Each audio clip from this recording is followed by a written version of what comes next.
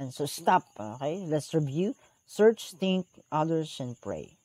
So, so with regards to reflection or philosophical reflections, so meron tayong, uh, we represent our reflections. We represent, nire-represent natin yung ating reflection, okay, with such, okay, with such line.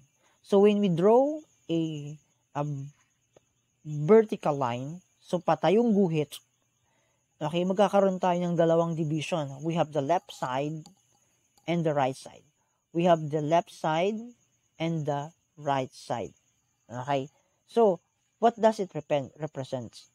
So, the left side on the vertical line represents the interior and subjective part of our reflection. Okay? So, when we say interior, pangloob. Is inside us. When we say subjective, kumbaga tayo yun. We are the one who decide it. Diba? Subjective. On the right side naman, we have this exterior and objective. So, when we say exterior, panglabas. So, ito yung ating observation sa, sa labas. This is our reflection on outside exterior part. And it is objective. Okay? So, that is number one. So, with regards to reflection, we have interior, subjective, exterior, objective. Left and right. Okay. So, another one, yan. So, when we, another thing, na pag tayo nag, gumagawa ng philosophical reflection, we can represent it by writing horizontal line. Horizontal line. So, when we draw a horizontal line, the upper part or the upper space above the line, horizontal line, represent the, the philosophical reflection which are singular, individual, and only one. So that is um, philosophical reflection. The upper part and the lower part naman is the the plural, collective, and many. Those are reflections that are plural, collective, and many. Okay? So, and with that, we will make a quadrant. So, we have the cross or the cross line which have four quadrant. Okay? So, now, what's the meaning of is? So, ano yun, Sir Mark? Para maintindihan natin yan, take a look on this. So, we create that, we create what are called Wilbur called the quadrants. According to Wilbur, okay, according to Wilbur, quadrants are the inside and out, and individual and collective. Okay, I hope that you can see. Okay, so this, so according to Wilbur, so we have inside, we have outside, and we have collective. Okay, this collective, and we have the collective and individual and collective. The lower part, lower part of the the quadrant is collective, and the upper part is individual. So I hope that you realize, or I hope that, you understand this. Okay, the next one. Yan. So this is the example. So in our quadrant, a representation of our reflection is here. So the upper yan. Okay. So the upper one, okay, the upper left is example is the word I. So you can you, we can use the word I and on the upper right is we can use the word it. On the lower uh, right left, I'm sorry, lower left, left rather is we can use we and on the, the on the lower right is we can use its okay so that is for example and another example is we can use the term mind okay? And we can use the term body culture and society. So i hope that you understand these things. So these are the representations of the quadrants. Let's move on. So here is the word uh, quadrants but on the center is the topic.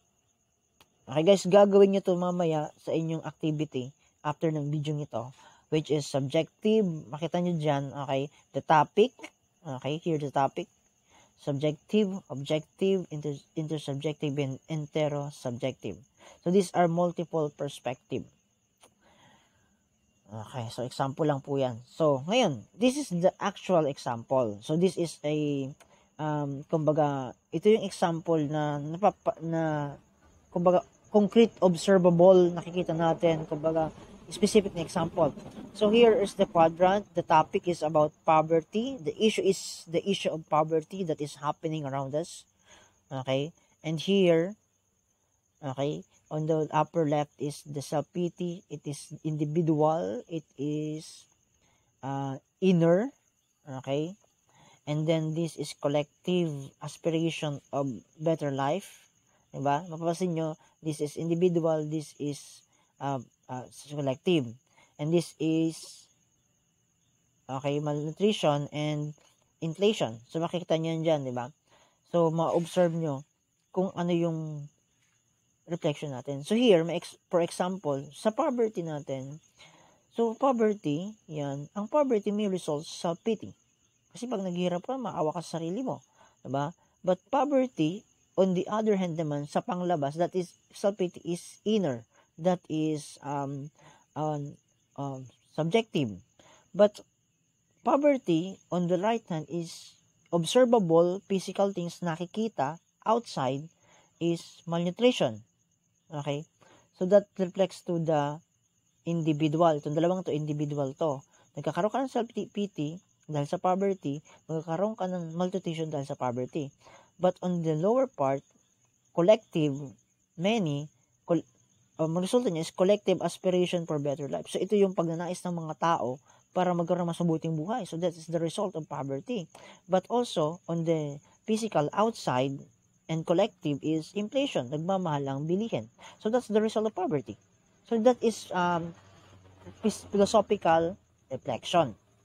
Okay? So I hope na natutunan niyo yung philosophical reflection sa Oslo. So basically, philosophical reflection is magre-reflect tayo sa isang sa isang issue and here the example is poverty at ang resulta niya ay self-pity that is individual and inner, pangloob, and that is sa, sa uh, ito naman ay individual din uh, pero that is outside malnutrition payat uh, gutom dahil sa gutom na mamayat nagkakalus nagkakaroon ng hindi magandang kalusugan but on the lower part is collective or plural o marami at doon sa sa left side makita natin dito yung pangsarili nagkakaroon ng inner pero collective is nagkakaroon ng collective ng sama-samang maghangad ng magandang buhay But on the result is, sa kabila naman, sa pang-outside, inflation.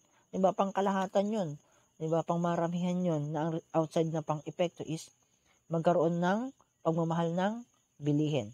So I hope na naunawaan nyo and that is philosophical example of philosophical reflection and I hope na uh, you can ask question pag meron kayong di naintindihan sa ating usaping ito. So maraming salamat sa inyo. I hope God, na kayo natuto. Happy learning. Enjoy your enjoy your learning. Maraming salamat sa inyo. God bless you all. Mabuhay. See you on the next module. But before that, answer your activities and including the assessment. Magandang, magandang salamat. Ops, reminder, don't look at the answer key. Huwag mong dayain ang sarili mo because you can uh, hindi mo pwedeng dayain ang sarili mo. Hey, maraming salamat sa inyo. Nakikita ka ni Lord. Huwag kang tumingin sa alas. Huwag kang maghanap sa assessment. Huwag ka rin pumunta sa online kopyahan. Maraming salamat. God bless you all. Mabuhay.